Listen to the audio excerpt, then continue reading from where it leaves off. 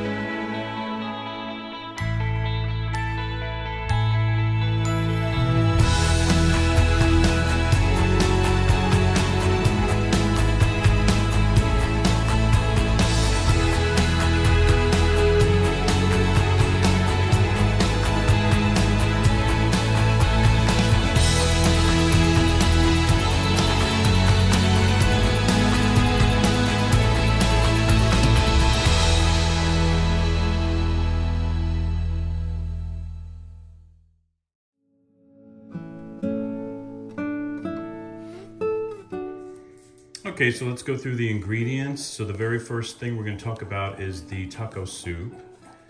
And we're gonna need one pound of ground beef. This is 93% lean, 7% fat. You're gonna need two cans of regular tomato sauce. This is um, the, sorry, the eight ounce cans, so two eight ounce cans. Um, I'm using Rotel here. This is a 10 ounce can, the mild. You can use spicy if you'd like.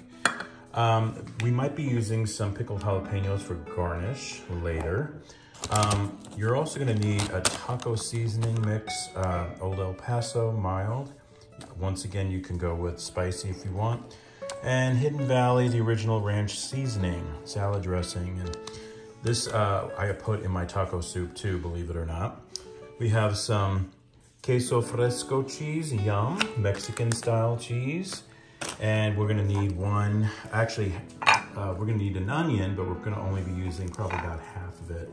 So we're gonna dice it up small, add it to our meat mixture. And we're also gonna need some Tostitos um, bite-sized chips. I just love it with the chips. Um, and then sour cream also. So that is for the taco soup, very easy. Then for the guacamole, we're gonna need a little bit of red onion. We're gonna need three avocados. Make sure when you look at your avocado, press into it. If it's, you can press into it, then you know it's ready. If it's too hard, you can't use it. You're gonna have to let it sit out for a little bit, for a few days. But this one, you can see by pressing into it, has a little indent, so these are ready. I have a molcajete here. This is like a mortar and pestle. I like making it in here. Makes it very authentic. And believe it or not, the stone um, is really awesome to use and it really breaks it down nicely. Um, cilantro, I have organic uh, cilantro here. We're gonna need garlic, onion powder, garlic powder, of course. I got some cherry tomatoes that I just chopped up in fourths. And that is basically for the guacamole. Now the chili toreados, we have three uh, jalapeno peppers here. We are going to cut off the stem we're actually gonna slice them in half. And I'm gonna leave the seeds because Ivan loves it spicy. But if you can't have spicy, just take out the seeds and you should be fine. Now the serrano peppers here, um, that's a different story here. That one we're going to put in the oil whole, but we're gonna put slices, little um, cuts into the uh, peppers so this way it um, cooks within the pepper, okay? And we're gonna also uh, take off the stems. And we're like I said, we're gonna be using some vegetable oil to cook it in with. And we're also gonna add some white onion to this into the pan later. And some soy sauce, believe it or not, a little soy sauce. And that's the ingredients that we're gonna need to make our delicious meal for Ivan today. Let's get cooking. Okay, so you might be asking, why are we making this special meal for Ivan? Well, Ivan is going through a transition uh, in his job, and so he has a new opportunity. and he's super excited about it. So I wanted to celebrate tonight um, without him knowing. I already told him I was going to make taco soup, but he doesn't know I'm doing all this. But um, anyway, I just wanted to uh, make something special for him tonight because he's been working his butt off. Um, he has a job that requires seven days a week and long hours. Plus, he drives 45 minutes uh, back and forth. So um, that's 90 minutes a day minimum on the road. So I know he's exhausted. Um, and I want to make a special meal tonight because he has this new opportunity now, which he'll only be driving 20 minutes, which I'm so excited about because I was really worried about the long drive with him. And um, it's a new great opportunity with a new company. And so I'm very proud of him. So I want to, um, I want to make this special meal for him. So let's start cooking. Okay, so first thing I'm gonna do is heat up my pan. I have a large skillet here and I wanna heat up my oil. I'm using extra virgin olive oil and I wanna do pretty much enough to cover the base. And I want to heat that up. You want to make sure that this is nice and hot. We're going to add our onions to this and then our beef. I'm going to add my onions. When you hear that sizzle, that's how you know the oil is hot enough.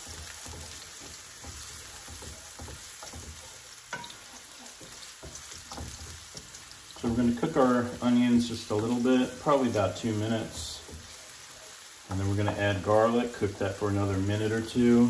And then we're gonna start adding the, then we're gonna start adding the beef. Okay. I love onions, oh, I love it. Okay, we're gonna add some garlic. This is probably like a little tablespoon.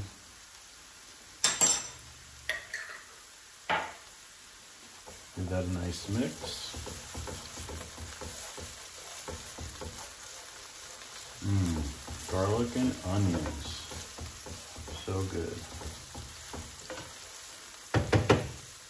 I'm Gonna add just a little bit of salt and a little bit of pepper.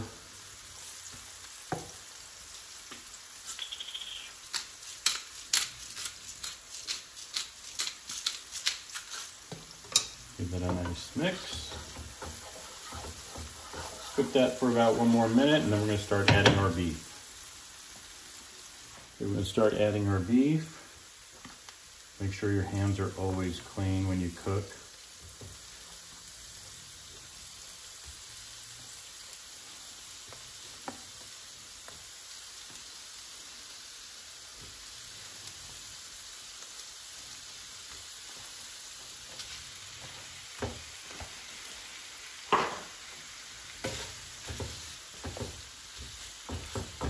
Want to brown our beef. Mix it in with the onions.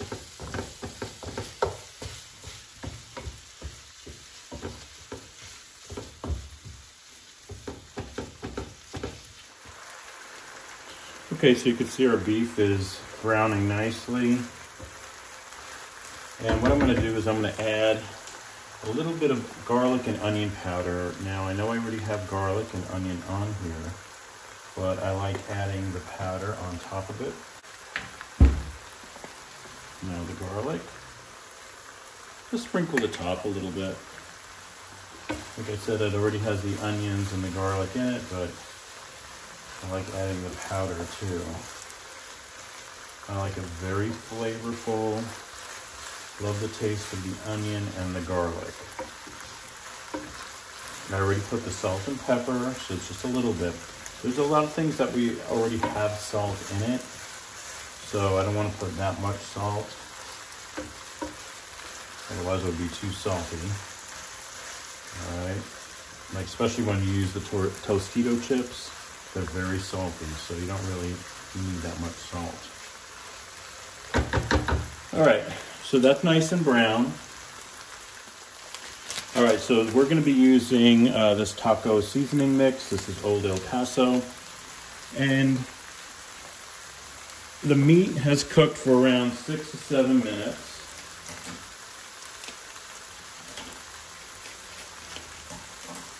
And we want to use the seasoning mix with a little water. It calls for three fourths of a cup. So I do a little bit less than that.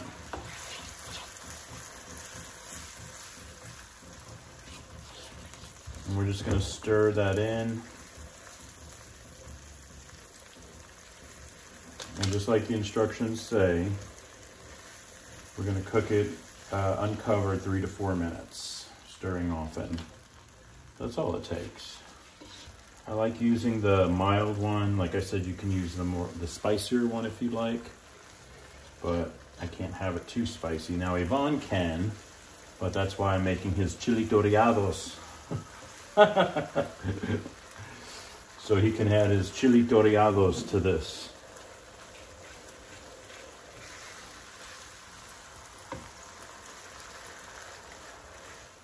Okay, so I have a pot here. I'm gonna add two cans of tomato sauce. This is, don't forget, for my taco soup. Now, an ingredient that I forgot to buy at the store that I usually put in my taco soup is corn, but I forgot to get it. So all you do is, you know, just remember a can of corn. And I'm gonna put this on a uh, medium to low flame. Gonna stir it. I'm gonna, after it cooks just a little bit, I'm gonna let it cook for around two minutes. And then we're gonna start adding the beef and we're gonna start adding, well, we gotta add the rotel first. So let me add the rotel. This is the mild diced tomatoes and green chilies.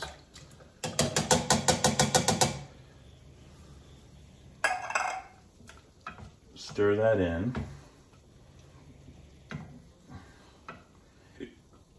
And then we're gonna add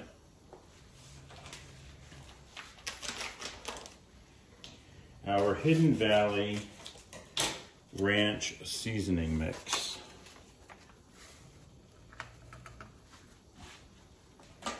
Give that a nice stir. You're gonna stir that until that's all dissolved.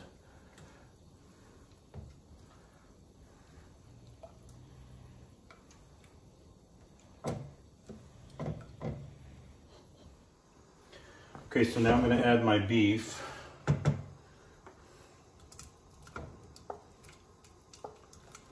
With the oil and everything. Gonna stir that in. And don't forget, if you have corn, add the corn. I just forgot the corn. Uh, I hate when I forget things at the store. We're gonna cook this on a low heat and we're gonna let it cook for about 15 minutes or so.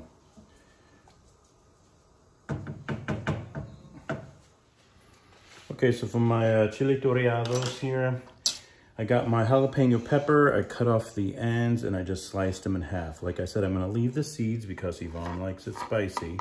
But if you can't have spicy, just take those seeds out.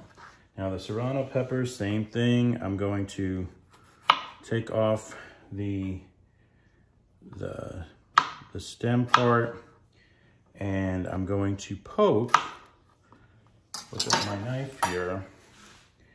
I'm gonna make some incisions because um, we don't want the pepper to explode in the oil. and also we want to make sure the inside gets cooked. Okay. So I'm just making these incisions.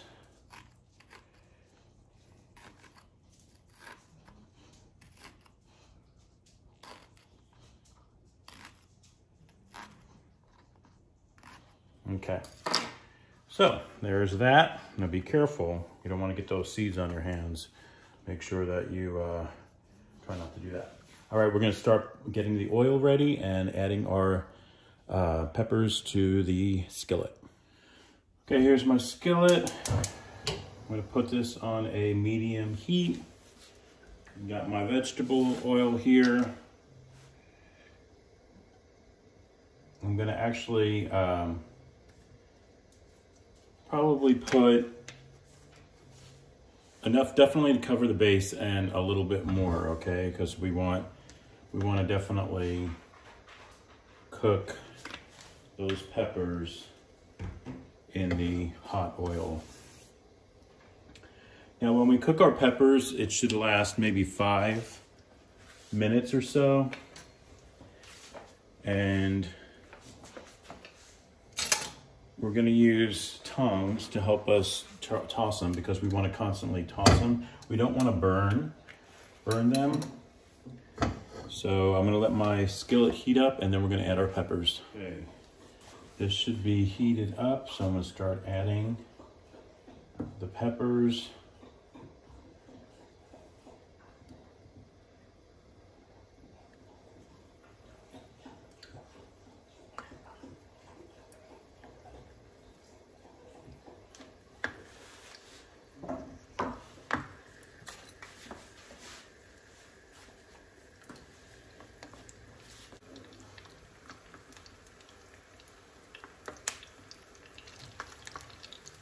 Okay, so I'm gonna start timing it now. You can hear the little pops.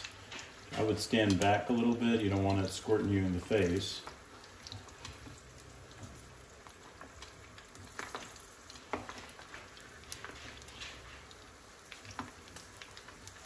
Okay, I'm lowering my, my heat is on a uh, low medium now. I'm gonna start to turn them.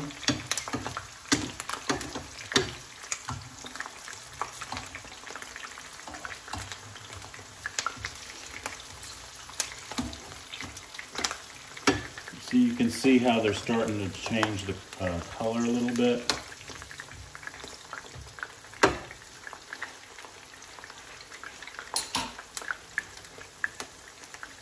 This is probably like a quarter, if that, of a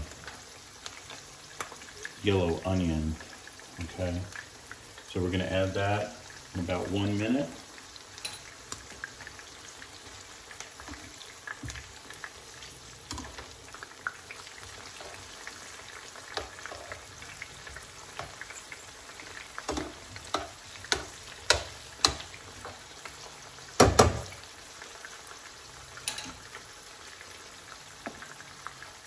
Okay, we're gonna add our onions.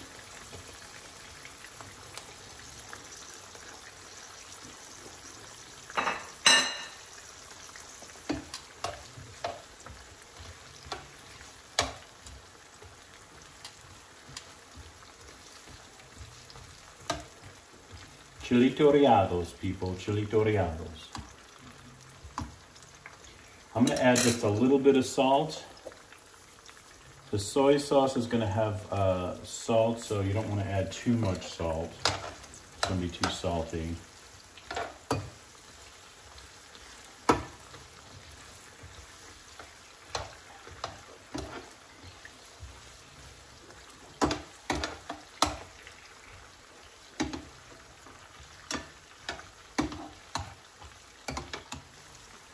The last uh, minute or two, we're gonna add just a couple of drops of the soy sauce.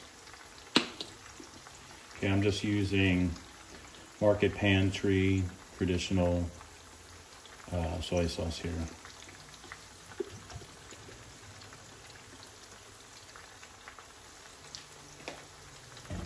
So just a couple of drops.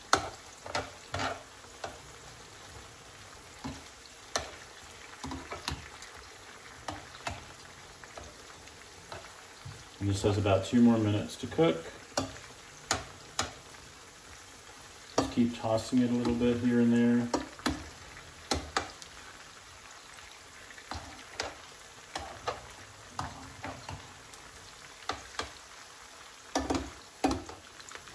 Okay, I have a uh, slotted spoon. And we're going to start taking these out in just a bit. We're going to give it one more minute.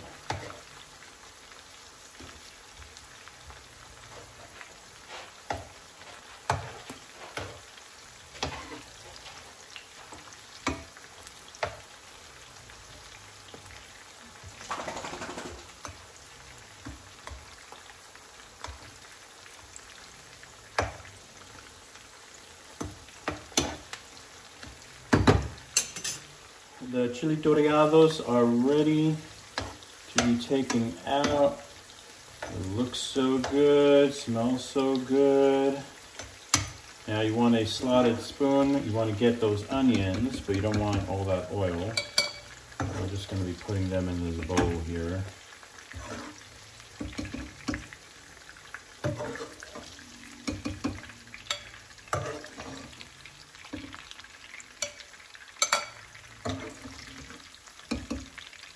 I hope Chili toreados.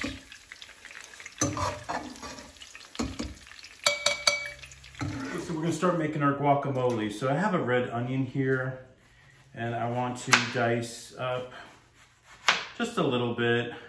Can you use white onion or yellow onion? I have before in the past, but I just like red onion with my guacamole.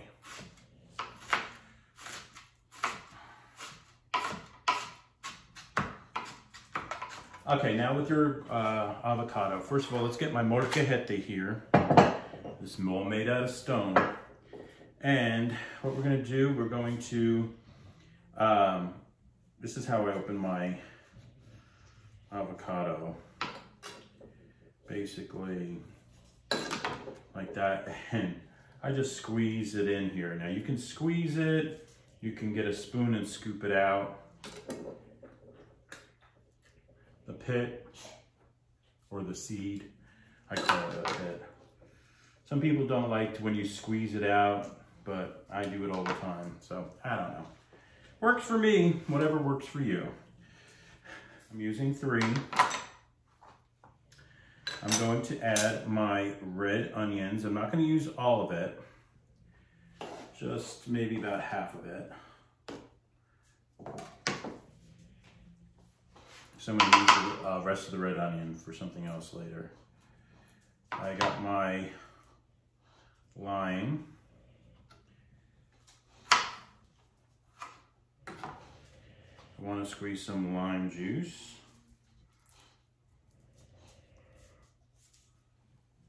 We're going to add our cherry tomatoes. Now, if you don't want to add a lot of cherry tomatoes to yours, you don't have to. I just like a lot of tomatoes. And then we're going to definitely add our cilantro our fresh cilantro leaves, and some salt and pepper. Have a little salt, have a little bit of pepper.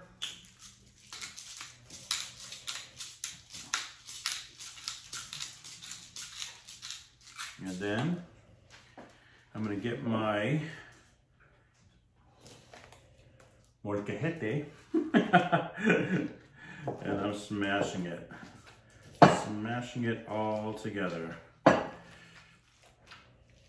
Now something else I like to add to my guacamole is a little bit of sour cream. You don't have to, but I like adding just a little bit, probably like a table, a teaspoon, maybe a a hefty teaspoon. just give it a nice mix.